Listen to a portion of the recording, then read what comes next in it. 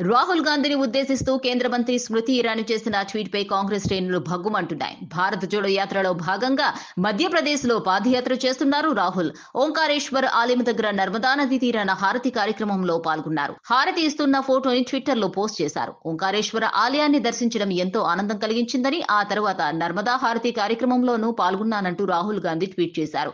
ఈ హారతి ఇచ్చే సమయంలో ఆయన ఓ షాల్వాను కప్పుకున్నారు. దానిపై ఓంకార ముద్రలు ఉన్నాయి. ఈ ఫోటోని రీట్వీట్ చేస్తూ కేంద్ర మంత్రి స్మృతి ఇరానీ రాహుల్ పై సెటర్లు విసిరారు. రాహుల్ కప్పుకున్న శాల్వాపై ఓంకార ముద్రలు రివర్స్లో ఉన్నాయంటూ ఆ ఫోటోని రొటేట్ చేస్తూ స్మృతి ఇరానీ ట్వీట్ చేశారు. ఇప్పుడు సరిగ్గా ఉంది అని ట్విట్టర్లోని రాహుల్ గాంధీ ఫోటోను రివర్స్లోని పెట్టి షేర్ చేశారు. దీనిపై కాంగ్రెస్ తీవ్రంగా మండిపడుతోంది.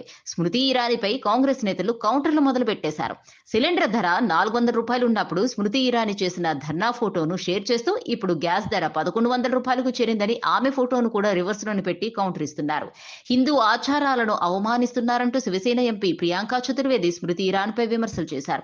అస్సాం సీఎం హిమంత బిశ్వ శర్మ రాహుల్ గాంధీని ట్రోల్ చేసి కిరీటం సాధించుకున్నారు. ఇప్పుడు హిందూ ఆచారాలను ట్రోల్ చేస్తూ స్మృతి ఇరానీ ఆ కిరీటాన్ని ఆయన దగ్గర నుంచి లాగేసుకున్నారంటూ కౌంటర్ వేశారు ప్రియా చతుర్వేది. కాంగ్రెస్ ప్రతినిధి లావణ్య ఫలాల్ కూడా స్మృతి ఇరానీ వ్యాఖ్యలపై తీవ్రంగా స్పందించారు.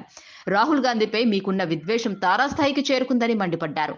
పార్సీ మతస్థురాలు కావటంతోనే రాహుల్ గాంధీని స్మృతి టార్గెట్ చేశారని ఆమె ట్వీట్ చేశారు. తనకు కేటాయించిన శాఖ తప్ప పనికిరాని అన్ని దిశల్లోని స్మృతి ఇరానీ తల దూరుస్తున్నారని తెలంగాణ కాంగ్రెస్ ట్వీట్ చేసింది. Please media please